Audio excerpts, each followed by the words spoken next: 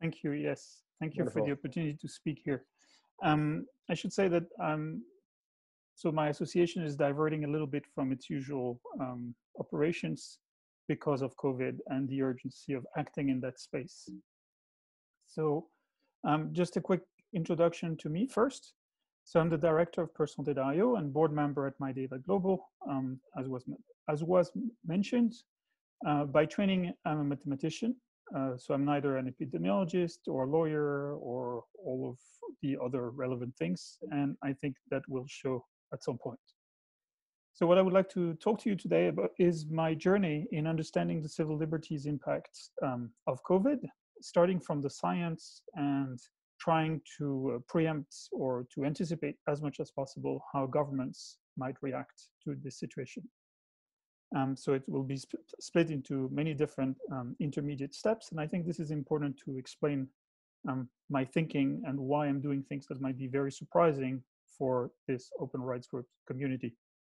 And then I want to talk about the PEP project, which I'll just call PEP for simplicity uh, of pronunciation, and then mention a quick survey of existing science that might be relevant to assessing how to do contact tracing in the right way, as was just mentioned by Edin um, just at the at the end of the during the questions.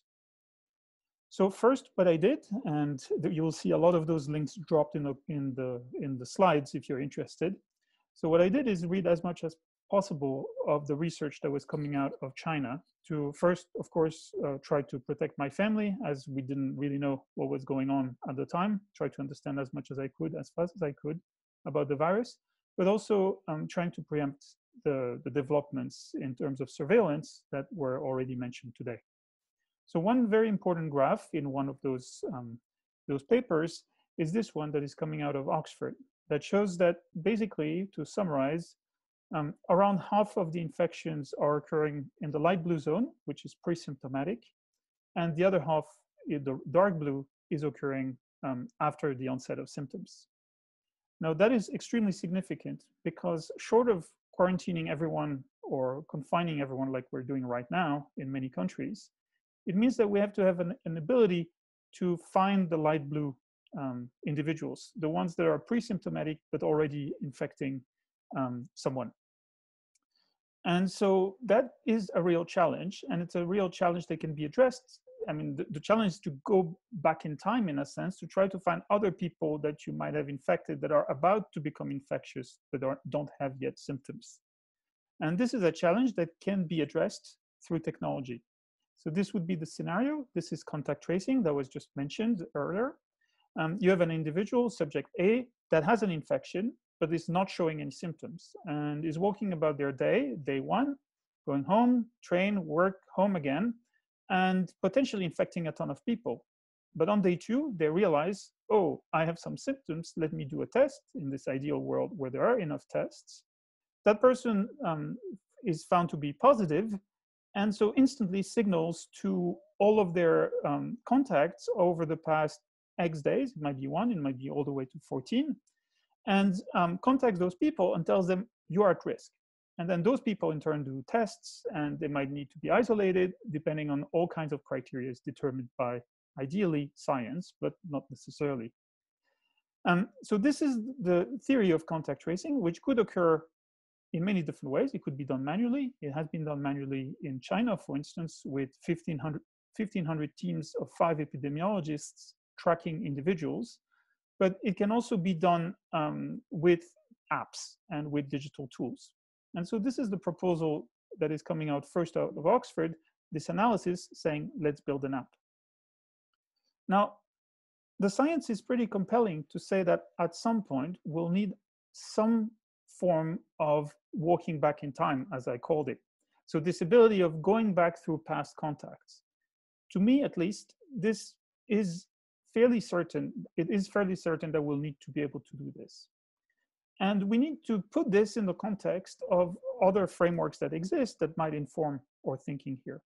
And for instance, the WHO guidelines that individuals have an obligation to contribute to surveillance when reliable, valid, complete data sets are required and relevant protection is in place. Under those circumstances, informed consent is not ethically um, required. So this is from WHO guidelines. Um, and in particular, this one is in the one on the left, WHO guidelines on ethical issues in public health surveillance. One of the authors of these guidelines is Michele Loi, a friend of mine and co-author. And as I was talking to him and trying to explain um, the science that I was progressively understanding here, um, we arrived to an understanding that it was important for the privacy rights community to react to this and to figure out a different model than this, this surveillance. Okay, we have a moral obligation to engage in surveillance. Let's admit that. Then what is the model we have that is not state mandated surveillance? And so we thought about it, and he wrote um, uh, an article outlining his uh, ethical thinking in those in those uh, in this area. And that got picked up by different actors. For instance, Christian D'Cunha, for those who, who for those of you who know him, who is uh, the former head of the private office of the European Data Protection Supervisor. Um, and so this, this, I think, contributed to a broader understanding of the issues around surveillance in this very particular context. Now, with this knowledge, I started reaching out to the MyData community. The MyData community is a community focused on um, individual rights, actionable rights under the GDPR and other laws, um, in particular the right to portability. And it's focused on, on making sure that the value of um, personal data is fairly distributed, based often on consent um, frameworks, knowing full well that those consent frameworks can often be abused. And so with this ethical understanding, I started reaching out to the MyData community and tried to promote this idea of a MyData Commons, a commons where we could donate data or we could entrust data, um, a commons that is constituted in some legal way that would be governed by strong standards and strong values um, in order to enable academics, governments, maybe journalists to better inform the general public on how to do, um, how to, how to react to this crisis. Um, and also, of course, individuals would be informed themselves. The idea was to involve the MyData community in building a governance framework and then involve more and more industry players and more and more um, developers to contribute to this, to this uh, ecosystem of apps that would be based around the same governance framework. Now, one of the apps that resulted from this legal framework that we started building, this ethical framework that we started building, um, through basically a checklist for app development was this app called WeTrace. So WeTrace is a privacy focused, as they say, mobile COVID-19 tracing app. So it uses Bluetooth, Bluetooth um, and decentralized asymmetric uh, uh, encryption to do contact tracing. So it leverages the fact that Bluetooth is a very distributed um, protocol to build, if you want, a whole stack um, of distributed contact tracing. So it was built, in a sense, to the highest standards that we could see of privacy, uh, for preserving privacy. It was built by partly Google engineers and Swiss bank engineers. Um, it was extremely surprising because everything I'm describing here happened within 10 days or so. Now, this is an example of an app that was built. Um, now I want to switch to an, uh, a more focused understanding of what comes into play in designing those contact tracing apps, because the reality is that I suspect many governments are about to roll out those apps in Europe, um, including in the UK, in Germany, in France, in Italy, and so on. So the necessity and the proportionality of those, of those contact tracing apps should be assessed based on legal tests. And I'm not a lawyer, but in order to assess whether these are proportional or necessary, these assessments should be informed uh, by science. One of the ways to take a shortcut in doing this assessment is to do it comparatively, to see opposing alternative solutions and to compare and assess which are better than the other. Um, this is a way to quickly say, well, instead of using this solution, we could use that one. And so you can see here at this URL that I give you there, a bunch of different apps um, sorted according to criteria to, to evaluate in this, in this framework of, um, in, in, this privacy framework. Now, one particular um, framework I want to talk about, or it's, it's not really an app, it's, it's a software development kit for building apps, is this PEP system. So the Pan-European Privacy Preserving Proximity Tracing Project. I want to talk about it because it seems to start um, making the moves to become the, the European standard for doing those things. Why? Um, one of the reasons is that it has really top universities contributing to this, this project. This is a large alliance of many large universities in France and Switzerland and Germany uh, mostly. So I want, before talking more in detail about what PEP is doing, I want to assert a few disclaimers. The first one is that I know for a fact that PEP is shifting some elements of what they are doing. They're changing their approach to doing some of those things, and that should be taken into consideration. At the same time, they're presenting an air of inevitability to all of that, what, all of what they are doing. Lots of governments are rallying between that framework, yet no code is released at the moment. It, no one is able to independently assess how good they, their privacy framework. So it could be, of course, that things are improved behind the scenes. It could be that they are not. Um, what I'm doing here is describing things as they stand based on the, as much information I was able to obtain. The motivation is to make sure that the privacy community can quickly mobilize in um, asserting what is important in such a framework when it is deployed. So one of the key statements by, um, by, uh, by PEP is this one, or privacy core. Anything we provide is based on voluntary participation, provides anonymity, does not use personal data nor geolocation on information, operates in full compliance with GDPR, and has been certified and tested by security professionals. This echoes what Jeff was saying earlier. The claim that this does not use personal data is false, given, as we will see, that some individual, individual level data is still centralized. My argument to, to say this is based on what's called the Breyer case on dynamic IPs and internet service providers. In the judgment of the Court of Justice of the European Union, data is not personal data if the if there is a legal means which enable to identify the individual associated to that identifier. In the current circumstances, there exists all those means. A state could force a centralized entity to reveal who is the individual behind an identifier. And this is one of the key arguments in saying that PEP is not, is overstepping in claiming uh, GDPR compliance through purely technical means. So to, to be more specific, PEP asserts that it's possible to construct a technical infrastructure that would guarantee compliance while deployed by governments. This is a misunderstanding of the misalignment of the threat models between the legal and the privacy tech standpoints. There are questions to be asked. For instance, what if an unsavory government start joining this coalition of governments that would implement the PEP framework? What if some governments were using the same technical infrastructure of anonymization for other purposes than contact tracing in the context of COVID? What is happening here echoes what Jeff was saying, except that it's a framework for anonymizing personal data, really, and for pretending that personal data would be anonymous. And this is even meta dangerous compared to what Jeff was saying. It gives technical cover for governance to pretend that some data is anonymous data, and all and it also assumes, this is up there in the voluntary participation, that all deployments of their tech will be consent-based.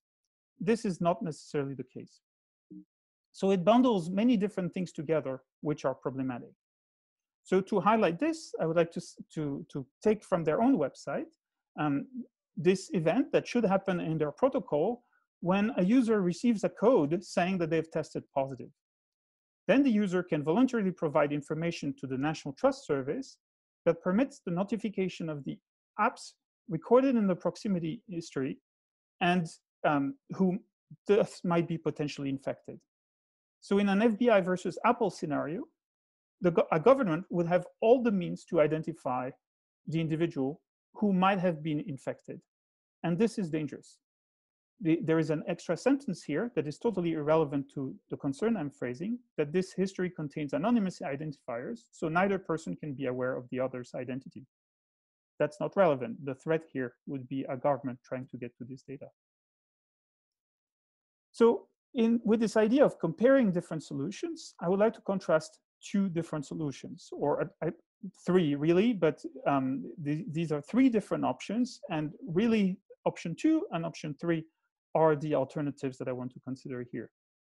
If you do this little correction in the top right, instead of each user gets a random ID that the government knows, and instead replace it by each user could get a random gets a random ID that the government could figure out in an FBI versus Apple scenario, then you're exactly in the threat model of PEP in the top right. And as it said there, third parties can track people, but the government can. Now, in the, on the, the third option is pushed by another initiative called COVID Watch, developed at Stanford, and now associated with WeTrace, this app that I mentioned earlier that was doing things with a more decentralized stack. And in this system of simultaneously asymmetric encryption and complete or a more decentralized stack based on the fact that the Bluetooth protocol uh, enables that, then in this situation, the data is much more decentralized and there is a lot less risk.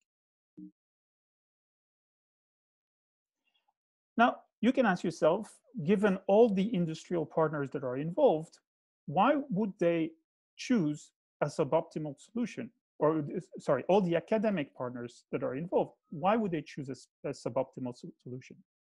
Now, this is pure speculation on my part, but you have to take into account many different effects here. The first one is the structuring effect of the app stores, the Google and Apple. They've decided that they're rejecting coronavirus apps that aren't from health organizations or from governments. That makes it very unlikely for one scientist to be able to develop an app that would be useful in this context. You have to have a coalition of scientists that would address a, a government or a set of governments. So they have a necessity to provide governments access to get the buy-in that they need in order to get to the App Store. And there is also a necessity to solve the political problem of cross-border interoperability.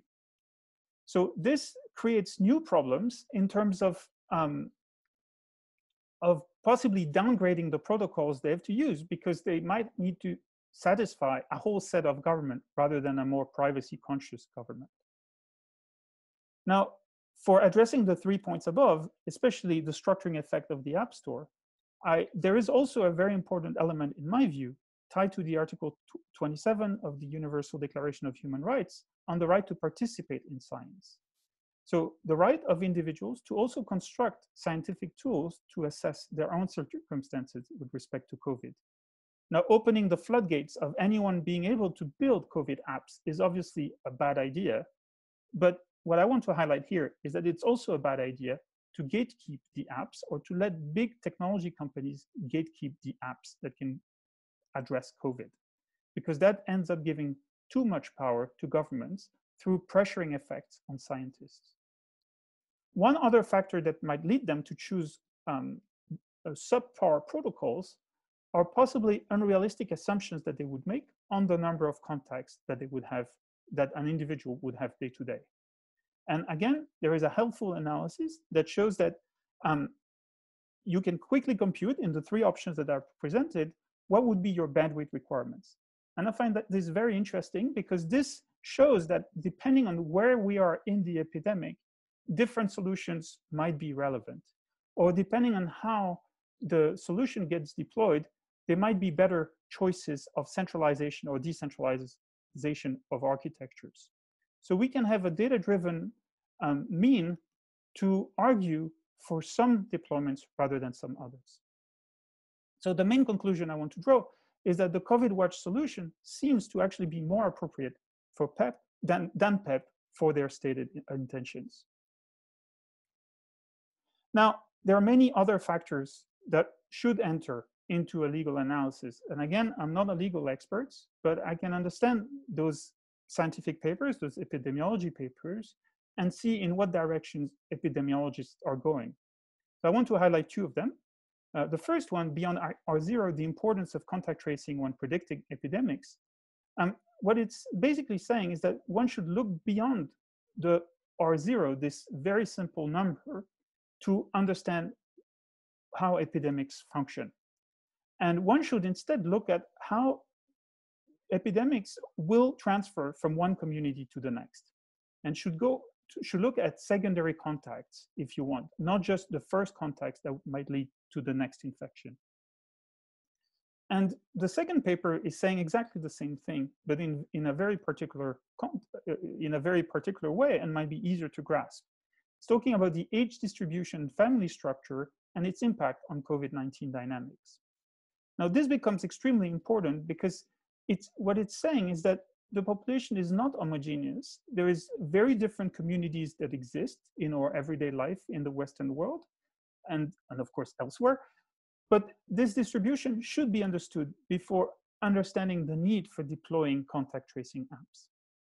So I invite those of you who are interested to join on the forum of Personal Data IO, where I tried to break down with a few other volunteers um, the, the underpinnings of those decisions. I, we're also trying to work with sociologists and medical anthropologists to better understand what is a relevant breakdown into communities to better understand how those this contact tracing should be done, possibly without using digital means. So one final idea to, to loop back on the MyData Commons idea is that one possibility would be that we would build a commons or people would build a commons precisely to collect the data that would become relevant in assessing what is proportionate in deploying those tools. I think this would be important. This would be an important um, citizen effort to better keep in check a coalition of epidemiologists or scientists and governments to dictate life in the very near future or maybe slightly longer future when we get out of COVID. So again, if you're interested, um, I'll be happy to talk about this and I'll be happy to discuss this with you on the forum of Personal Data IO as well. Thank you.